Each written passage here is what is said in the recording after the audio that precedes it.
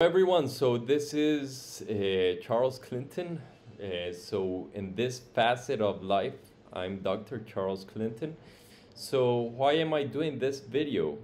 Actually, my motivation is that I'm wrapping up today, January, let's see, January 28 2022, uh, with my interview season. So, actually, I'm in the midst of my last interview and actually I have like a one hour gap so I guess I already learned everything I need to learn in order for me to make this video giving you my two cents on how to prepare for interviews in the future.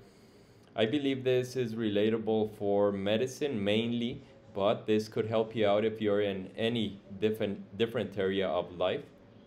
So I'll give you my two cents because I usually like sharing because they say sharing is caring. And every little thing I am able to eh, encounter in life and able to navigate in a positive manner, I believe is eh, enough of a reason to share with anyone that might actually uh, improve or yeah add to their game plan based off of my experiences. So I'll give you my two cents. This is the starter starter pack for a good interview season. So why are you here in front of the camera speaking with someone else who wants to know your story and wants to know um, if you are fit for the program, for the job, etc., etc. okay, so you are here because someone has already seen through your application that you have what it takes to be working an X or Y job or preparing an X or Y specialty or whatever you're trying to apply to. So it it's first um, a sign of being able or that you have already accomplished something. They're already taking you into account. So if they're already taking you into account, you have to feel good about yourself. So step number one is uh, feel good about, about yourself if you are having to turn on the camera or having to go physically somewhere to interview. It means you've done something well or something good.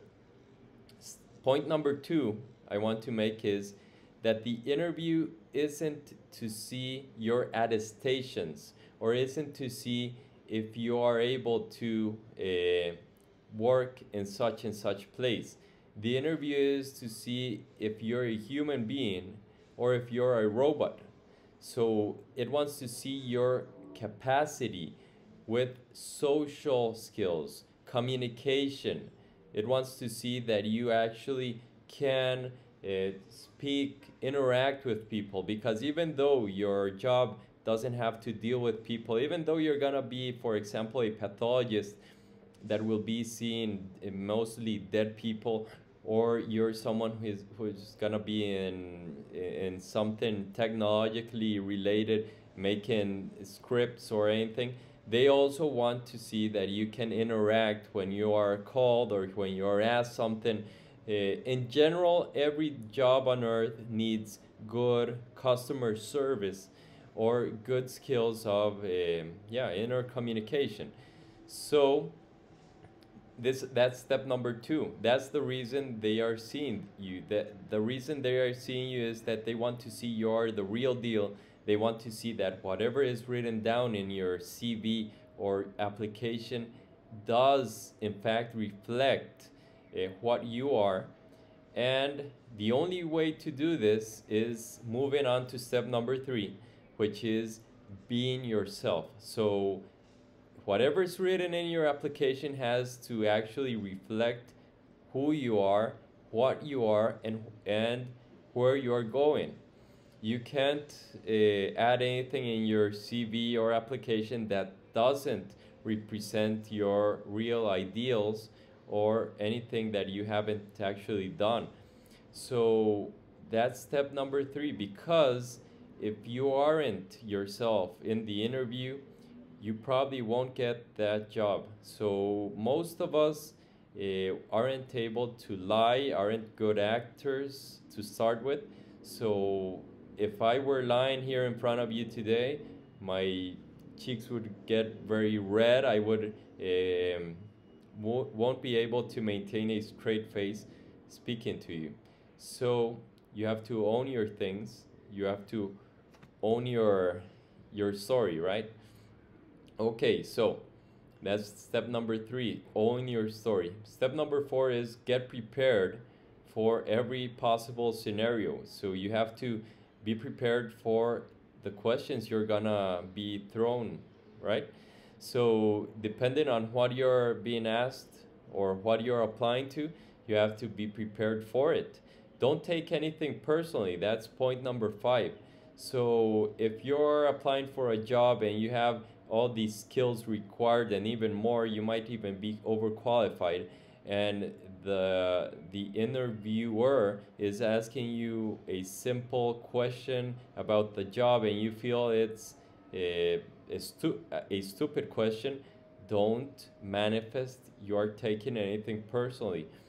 Because if you manifest this, it means that you probably are lagging a little in social skills and maybe aren't fit for the job. So you can't take things personally. You show them what you're made of if they ask you a simple question, answer that simple question with a smile on your face and don't try to force a smile.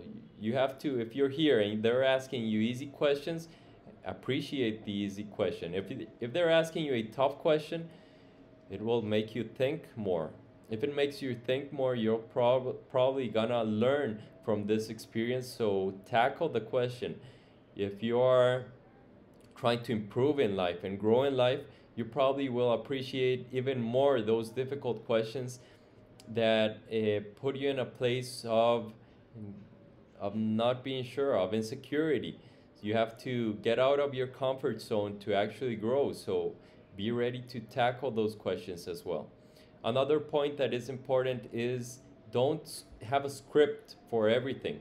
So this uh, video I'm making right now, I don't have a script for. I'm just talking about what I am thinking. I am just trying to flow.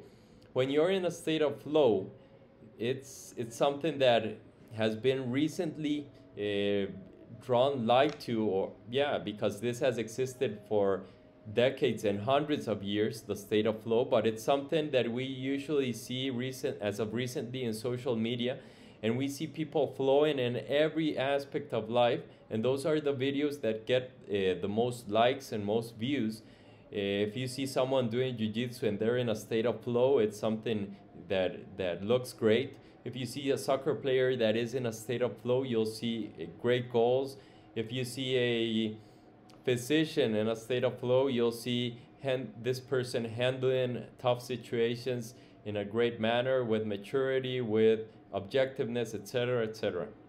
So this point I want to make is try to flow. If you have a script and you're following a script and you have everything written down right here and you have post-its all over your computer, you're playing to fail because if you get X question, you'll look that way. If you get such other question, you'll look downwards. If you get such other question that you don't have an answer for, you'll just stay as a robot you're you'll become robotized you'll just uh, have um, insecurities that will build up on you so you have to flow. You have to try to flow. But you have to prepare. So i go back to the previous point. Prepare enough so that you can flow. So if you have to answer a question and you have your own script yeah read it 10 20 times. After you read it and practice it here in front of the computer or in front of your mirror or in front of a teddy bear or whatever you choose, you will actually make it grow on you to a certain extent that you will flow and you will be spontaneous or at least seem spontaneous. So if you have difficulties um, socializing, try socializing, try working on your craft, work on your weaknesses So be prepared as well for any difficulties you might encounter in your interview. For example, right now, the person who lives on top of on top of our place is is drilling holes on the on the walls. I just interviewed, uh, I was just interviewed, and this person just started drilling holes on the walls. And I told my interviewer, I let them know, okay, this is something I cannot control. Please let me know if it is uh, interrupting the interview, and if necessary, I can put on my uh, noise canceling headset. So I'm showing that I'm prepared. I'm showing that I um, am ready for any of the interruptions and variables that maybe hadn't been taken into account by someone who wasn't that prepared. So it's a positive. So be sure to demonstrate that you are prepared for this. Part of the preparation as well is your environment. So look at this. This is my interviewing environment. Everything is here for a reason. So if you see this right here, you'll see that I have uh, pictures that manifest what I'm made of. These are uh, conversation starters in many different opportunities in my interviews. Actually, in my interview today, they asked me about my dogs, so I actually had the opportunity to show my my dogs to uh, the person who was interviewing me, and it was a positive. So you have to know how to nav navigate uh, through your interview. For example, showing your pet dogs to someone in an in in a moment that isn't appropriate will plainly make you look bad. But if the moment is right, you can actually add to your interview showing your showing that you are spontaneous and all. So this right here, when they ask me, tell me, Charles, what is one of your main achievements.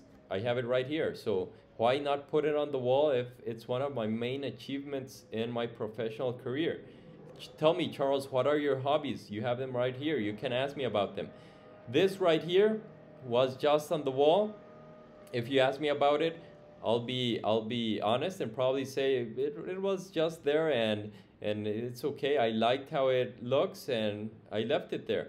Someone might want to take this out of the way and just leave the this these other two um, what's the name of things behind me but if you can talk about it you can make your case for example i didn't know that this uh, drawing was the charles um, bridge in where was this in prague so there you have charles bridge in Prague. I've never been there. I didn't know it was the Charles Bridge, but I could say it's the Charles Bridge and I'm named Charles, then it, it might be positive.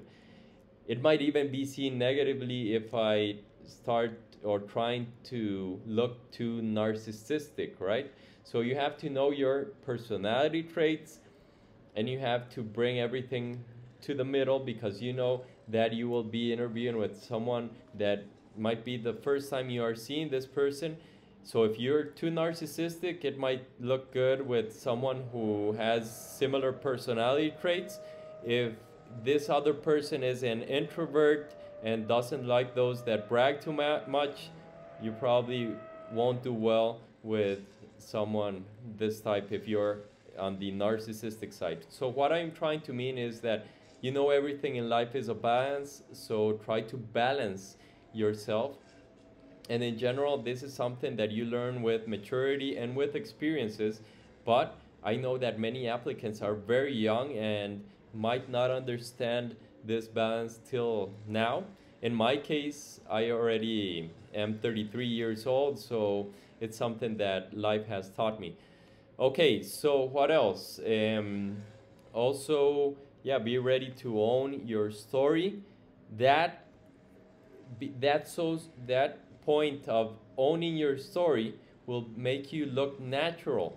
So if you don't own your story and they ask you about, hey Charles, tell me about what what are your publications? I read here that you published a paper on such and such. Can you tell me a little about that? If you didn't participate in that publication, guess what? You'll probably get red. or if you are a good actor, you won't get red, but you'll try to make something up. And you might be interviewed by two or three separate people. These other people might ask you the same question, and you might give them a different version because there is nothing more difficult to hide than a lie. So when you lie, you make the story more complex, and it gets to a point that you will um, it will bite you in your ass, right? So be yourself, own your story. Don't start uh, talking about things you haven't accomplished. Your story is, uh, each of our stories is unique. And the reason, or you seeing me today, means that you right there are a miracle because the possibilities of you being born are we're going down to very decimal very small decimal digits. So understand you are a miracle and that your story is unique and that no one will repeat your same story. So you can say your story without a problem. Don't try to emulate what you're seeing right here. If anything of here of uh, what you're seeing or hearing helps go for it. If not so just uh, use whatever works for you. Okay what else appreciate every opportunity. So in my case i got more than 10 interviews. I went to each and every one of them. I have to admit that my mind was made up after the seventh uh, interview. Probably around the seventh interview i said enough. I probably don't need to interview anywhere else. But I decided I would appreciate every opportunity.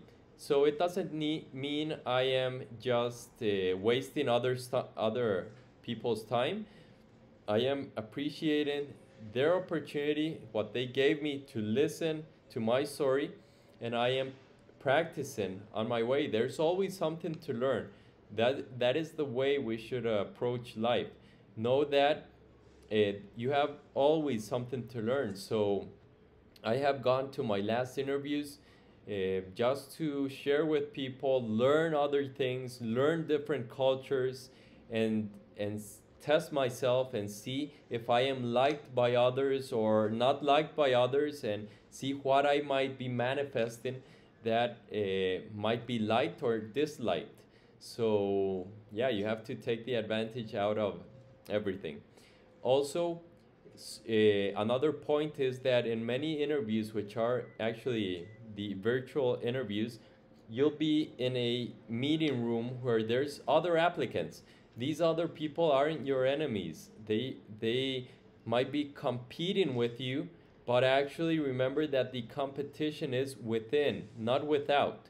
So if you're starting to compete with with others and you see that the this other person uh, made a great question and now you have to make a better question than he or she did you're um, you're just looking for failure because remember that you have something to learn from everyone and that life is a merry-go-round so even these applicants could eventually be your boss at some point in time or they might need your help so I always, in every interview, try to make it a great place for everyone.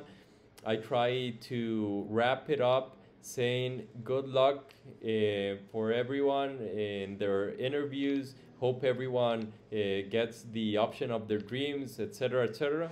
And I really mean it. So if you really mean it, say it. Um, so those are the main pointers I have for you guys. I believe that after more than 10 interviews, I already have the capacity to help you out with some good pointers. Um, if you want to prepare even more, I would recommend some pages. If you are a medical resident, Match a Resident is a great page that will help you uh, grow confidence and be able to thrive in your interviews. So depending on the area of life you're working in, search the tools necessary for you to feel great and be the best version you can. If you are seeing this video, you probably are interviewing or have interviewed for some place. So congratulations. and I think I've talked more than enough. Um, if you liked the video, give it a, a thumbs up. If you didn't like it, give it a thumbs down. Actually, I, I prefer honesty over Uh, any social makeup. So that's it for this video. Hope the best. Let me know in the comment section how you did in your interviews. If you matched, if you didn't match, tell me. If you have any questions, tell me. I'm here to help you guys in the, in in your journey. So, yeah. Cheers. Sorry for the mouse going up right there.